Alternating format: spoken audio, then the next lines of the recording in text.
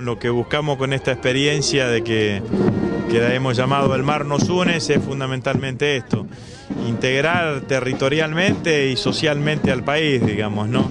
Experiencia de chicos de todo el país, eh, como entrerrianos, catamarqueños, riojanos, sanjuaninos, eh, que, están, que están participando de esta, de esta travesía eh, y al mismo tiempo hacerlo en conjunto con, con, chicos del Liceo Naval, digamos, ¿no?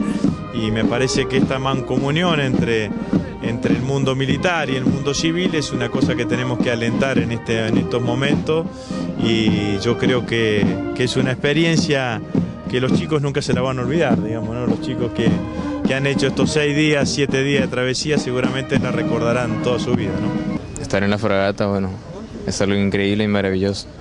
Tuvimos actividades, aprendimos a hacer amarras, aprendimos a escapar en caso de emergencia, de todo un poco. Es increíble, pudimos conocer el mar, muchos aquí no conocían el mar y tuvieron esa oportunidad.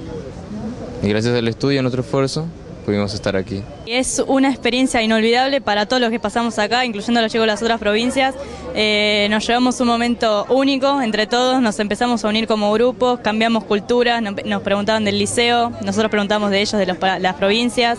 Eh, también, bueno, tuvimos clase, nos, eh, en algún rato libre jugamos entre todos. Y no, una experiencia muy inolvidable. La verdad, hay que no solo hay que esperar a estar en la escuela naval para venir, sino aprovechar los momentos.